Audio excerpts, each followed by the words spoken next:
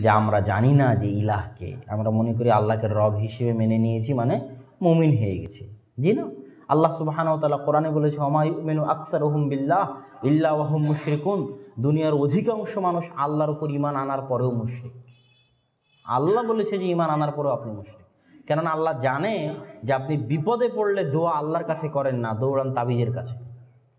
এটা আল্লাহ জানে। শেফা দানকারী কে?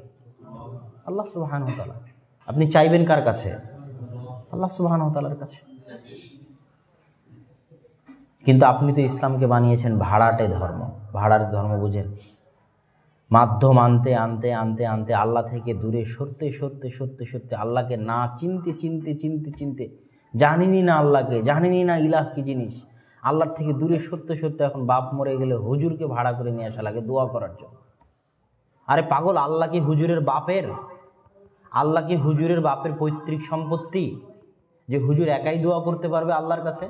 না আমিও আল্লাহর সৃষ্টিজীব, না আল্লাহ আমারও রব। আমার কি অধিকার নাই আল্লাহর সামনে দুটো কথা বলার চাওয়ার? যে দুটো কথা বলতে হলে আমাকে হুজুরকে নিয়ে এসে কথা বলাতে হবে আল্লাহর সাথে কথা বলানোর জন্য? আল্লাহ কি হুজুরের বাপের পৈতৃক সম্পত্তি? আল্লাহ কি আমার রব নয়?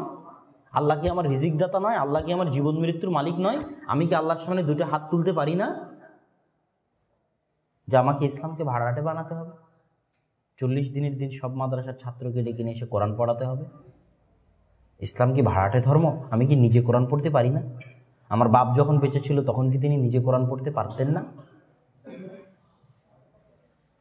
এই জায়গাগুলোতেই হচ্ছে সকল সমস্যা। ইসলাম ভাড়াটে ধর্ম নয়। আল্লাহ সুবাহতালা হুজুরের বাপের নন। আল্লাহ সুবাহতালা আপনারও। হুজুর পীর কিয়ামতের মাঠে কিছুই করতে পারবে না।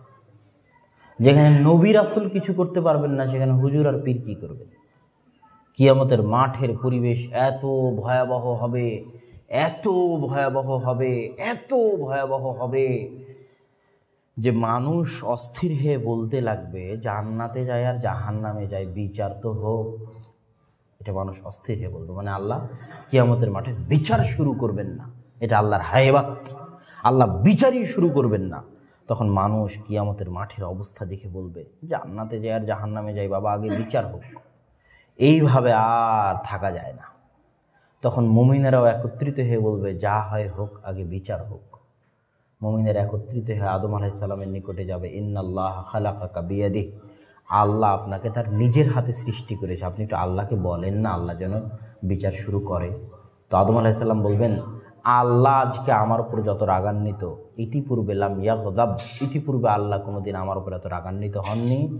পরেও কোনো দিন হবেন না। আমি একটা অপরাধ করেছিলাম, মরা পর্যন্ত তওবা করেছি। ক্ষমা হয়েছে কি না জানি না। আল্লাহর দরবারে গিয়ে কথা বলার সাহস আমার নেই। তো একজন নবী আল্লাহর দরবারে কথা বলতে পারছেন না। মানুষজন চলে যাবে নূহ আলাইসাল্লামের নিকটে, সেখান থেকে মুসা আলাইসাল্লামের নিকটে, সেখান থেকে ঈসা আলাইসাল্লামের নিকটে, সেখান থেকে মোহাম্মদ সাল্লাহ আলী আসাল্লামের নিকটে। তো মোহাম্মদ সাল্লাহ যে ডাইরেক্ট গিয়ে আল্লাহর সাথে কথা বলবেন তা কিন্তু নয়। কেন কিয়ামতের মাঠের পরিবেশ হবে অনেক ভয়াবহ। আল্লাহকে এটা আমি আপনি না জানলেও মোহাম্মদ সাল্লাহ ইসলাম জানে। আমি আপনি চিনি আর না চিনি মোহাম্মদ ইসলাম চিনেন আল্লাহকে? আদম আলাইসাল্লাম চিনেন আল্লাহকে? নূহ আলাইসাল্লাম চিনেন আল্লাহকে? মুসা ইসা চিনেন আল্লাহকে, মোহাম্মদ ইসলামও চিনেন আল্লাহকে। এই জন্য তিনি সরাসরি কথা না বলে সরাসরি সিজদায় পড়ে যাবেন। এবং সিজদা থেকে মাথা উঠাবেন না, যতক্ষণ না আল্লাহ বলবে, মোহাম্মদ মাথা উঠাবে। কেন কত বছর সিজদায় থাকবেন আল্লাহ ভালো জানে। কতশো কত হাজার বছর তাও আল্লাহ ভালো জানে। এটা হচ্ছে আল্লাহর হাইবাত তাহলে নবীরা আল্লাহর সামনে কথা বলতে পারল না, আর আপনি পীর ধরলেন আর পীর জান্নাতে নিয়ে চলে যাবে এটা কেমনে সম্ভব? কেমনে হয়? বিবেকে আপনার কেমনে ধরে? অসম্ভব। জান্নাতে যেতে হলে আপনার নিজেকেই আমল করতে হবে। আল্লাহর সাথে আপনার নিজেকেই সম্পর্ক বাড়াতে হবে। আল্লাহর নিকটে আপনার নিজেকেই ফিরে যেতে হবে। এবং আল্লাহ সুবাহান ও তালার নিকটে আপনার নিজেকেই দোয়া করতে হবে। এবাদত আল্লাহর জন্যই আপনাকে করতে হবে। এটাই হচ্ছে আল্লাহকে ইলাহ হিসেবে মানা। লা ইলাহা ইল্লাল্লাহ। আরবি যারা জানেন তাদেরকে বলবেন যে আমি যদি শুধু বলতাম আল্লাহ ইলাহ, আল্লাহ হচ্ছেন ইলাহ, তাহলে কি বাক্য হতো না? তাহলে কি উদ্দেশ্য পূরণ হতো না? অবশ্যই হতো। আমার তো এতটুকুই বলার দরকার যে আল্লাহ হচ্ছে নীলা এই বাক্য থেকে লাইলা ইল্লাল্লাহ বাক্য থেকে মানুষ বুঝে যে এতটুকুই আমার বলার দরকার যে আল্লাহ হচ্ছে নীলা তো এটা তো আরও ছোট করে বলা যায়। আল্লাহ ইলাহ আরবিতে। আল্লাহ ইলাহ মানে আল্লাহ হচ্ছে নীলা আল্লাহ মুবতাদা, ইলাহ খাবার। আরবি বেকা ব্যাকরণে বাক্য শেষ। এত বড় বাক্য করার কি দরকার? লা ইলাহা ইল্লাল্লাহ। অবশ্যই কোনো উদ্দেশ্য আছে? না, নাই? আচ্ছা। আল্লাহ সুবাহ তালা বেকার কোনো কথা বলেন না। মানুষ বেকার কথা বলে, কিন্তু আল্লাহ বেকার কথা বলেন না। তাহলে আল্লাহ এত বড় বাক্য কেন বলেন এত বড় বাক্যের উদ্দেশ্য হচ্ছে লা ইলাহা ইল্লাল্লাহ। আগে যখন লা এবং তারপরে যখন ইল্লা, আরবি ভাষায় যেখানে আগে নাফি, পরে ইল্লা যখন যোগ হয়, তখন সেটা হাসরের ফায়দা দেয়, সীমাবদ্ধতার ফায়দা দেয়। এটার অর্থ তখন দাঁড়ায়, কেউ যদি বলে যে আল্লাহ ব্যতীত কোনো মাবুদ নেই, তাহলে একটু না হলেও একটু ভুল হবে অনুবাদে। এটার অর্থ কি দাঁড়াবে? যে আল্লাহ সুবহানাহু তাআলা ব্যতীত, আল্লাহ সুবহানাহু তাআলা ব্যতীত ইলাহের সরিষা সম পরিমাণ হক পাওয়ার, ইলাহের চুল পরিমাণ হক সম্মান অধিকার পাওয়ার দুনিয়াতে আর কেউই নাই। একমাত্র অনলি অন শুধুই শুধু ইলাহের হক পাওয়ার সরিষা সম পরিমাণও যদি হয় চুল পরিমাণও যদি হয় তো শুধুই শুধু সেই হক পাওয়ার অধিকার রাখেন আল্লাহ সুবাহ এটা হলো লাইলাহ ইল্লাল্লাহ অর্থ। এখান থেকে যদি আপনি চুল পরিমাণ কাউকে দিয়ে দেন, লিঙ্কের নামে, ওয়াস্তার নামে, মাধ্যমের নামে, পীরের নামে, বাবার নামে, অলিয়া উলিয়ার নামে, তাহলে আল্লাহ ইলাহ চলতে পারে, কিন্তু লাইলাহ ইল্লাল্লাহ চলবে না। লাইলাহ ইল্লাল্লাহ কেটে গেছে। এই জন্য আল্লাহ বলেনি যে না বুদু ইয়াকা নাস্তাইনু ইয়াকা আরবিতে এটাই বলা উচিত ছিল। আল্লাহ বলেছেন ইয়াকা না বুদু ওয়া ইয়াকা নাস্তাইন তার মানে কি? আমি যদি বলি, আল্লাহ আপনার এবাদত করে আপনার সাহায্য চাই। অনুবাদ ভুল আপনি আরবি গ্রামার পড়ে দেখেন। এই বাক্যের অনুবাদ হচ্ছে যে, আল্লাহ আমি শুধুই শুধু একমাত্র অনলি অন জীবনে কোনো দিন যদি চেয়ে থাকি কিছু, তাহলে শুধু তোমার নিকটেই চেয়েছি। দুনিয়ার আর কারও নিকটে চাইনি। আল্লাহ জীবনে যদি কোনো কোনোদিন এবাদতের কারণে মাথা নত করে থাকি, সম্মান দেখিয়ে থাকি, তাহলে পৃথিবীর কাউকে তুমি আল্লাহ যে সম্মান পাওয়ার অধিকার রাখো, সেটার সরিষা সম পরিমাণ সম্মান পৃথিবীর কাউকে দেয়নি।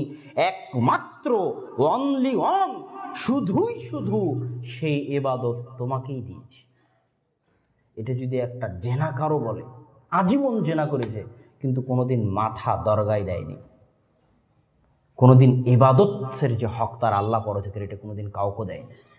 ওই যদি অনেক গুনাহ করে এসেও আল্লাহর দরবারে উপস্থিত হারে এই কথা বলতে পারে।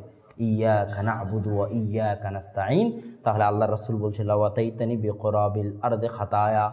দুনিয়ার মানুষ আসমান জমিন ভর্তি গুনাহ নিয়ে যদি উপস্থিত হও, আর আসমান জমিন গুনাহের মধ্যে যদি শিরিকের গুনাহ না থাকে, তাহলে আমি আল্লাহ আসমান জমিন ভর্তি ক্ষমা নিয়ে উপস্থিত হব।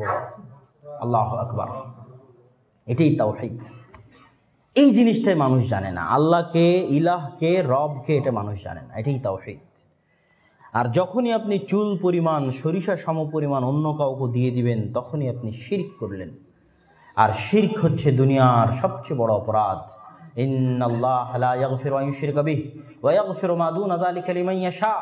আল্লাহ সব পাপ ক্ষমা করতে পারেন, কিন্তু শিরকের গুনাহ ক্ষমা, শিরকের গুনাহ কি? ক্ষমা? করবেন না করবেন না। করবেন না। আল্লাহ সব পাপ ক্ষমা করতে রাজি আছে, কিন্তু শিরকের গুনাহ ক্ষমা করতে রাজি নেই। আল্লাহ সুবহান তালা শিরকের বিষয়ে বলতেছেন, ইন্না শিরকালা বুলমুন আদিম নিশ্চয় শিরিক হচ্ছে মহা অত্যাচার। পৃথিবীতে এত বড় অত্যাচার আর নাই। সারা বাংলাদেশের সব মানুষকে যদি বাংলাদেশের সরকার হত্যা করে দেয়, তবুও অত বড় অত্যাচার হবে না। যদি একটা শির্ক সংঘটিত হয়, তাহলে যত বড় অত্যাচার হবে। সারা পৃথিবীর সব মানুষকে যদি অন্যায়ভাবে হত্যা করা হয়, জুলুম করা হয়, জেলখানায় বন্দি রাখা হয়, রাত দিন পিটানো হয়, তো ওই অত্যাচার হবে না। যে অত্যাচার শির করলে হবে।